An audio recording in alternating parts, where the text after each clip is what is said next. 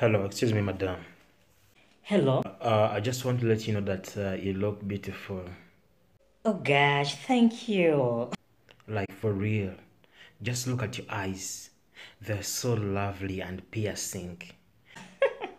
You gotta stop that. You're making me blush. Every time I look at them, like right now, I feel something piercing my heart. Oh, stop it. You gotta stop looking at me, please. You're so sweet. God bless you. Yo, excuse me. Ndibaliko madam. Mano, kimanyi kinnoonyerera. I have a boyfriend. Nze nvaako ndi mufumbo. Ate ani akubuziza boyfriend naawe? Nze nsima busiimi oli mulungi. Naye okakasa. Okufiira mu kitooke kya gonja. Onyirira. Lindako mmala okweraba mu mmira. Manyi abasajja mulimba.